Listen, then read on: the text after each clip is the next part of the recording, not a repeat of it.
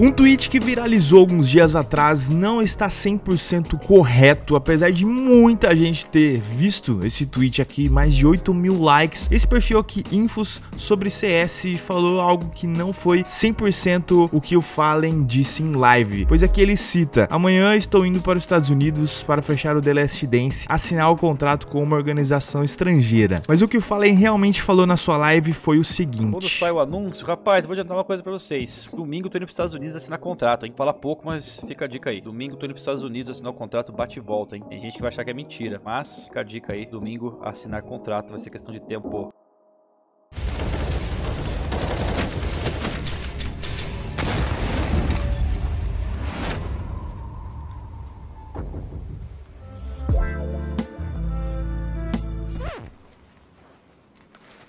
Parem, parem. O sacrifício por skins caríssimos já não vale a pena. Agora temos o K-Drop. Uou! Boa!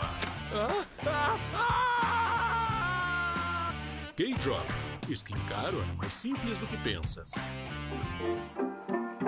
Ele citou aqui que o Fallen falou que iria amanhã para os Estados Unidos, no caso era um sábado, mas eu não ouvi em nenhum momento o Fallen falar a respeito de organização estrangeira. Isso daqui foi subentendido pelo fato do Fallen estar tá indo para os Estados Unidos assinar o contrato lá e não uma informação verdadeira. Então, fake news, esse tweet aqui não tá 100% correto. A gente já sabe, foi confirmado que a Imperial Sports fez proposta pelo Last Dance, querem contratar. Já rolou aí o anúncio oficial da saída do Boltz da MBR. O Fallen afirmou que vê com bons olhos a proposta da Imperial e isso indica muito que eles já tinham fechado um contrato, até porque rolou também um jantar lá em São Paulo onde eles, em teoria, estariam comemorando a contratação pela Imperial Esports. Temos informações também que a Imperial tinha emprestado computadores para lá em The Last Dance jogar lá em São Paulo. O Boltz acabou vazando também numa entrevista um PC com adesivo da Imperial, mas recentemente vazou também na live do Boltz o WhatsApp dele com algumas informações que temos que prestar atenção. Primeiramente, JP mandando aqui para ele Imp Bolts, já sugerindo aí que a tag do Bolts seria Imp de Imperial. E o mais importante aqui, um grupo Last Dance Business, onde o Felipe, CEO da Imperial Sports, manda uma mensagem que amanhã devemos ter um panorama, provavelmente um panorama sobre o contrato, sobre o acordo que eles deveriam fechar, até conseguir perceber aqui uma paradinha em cima, onde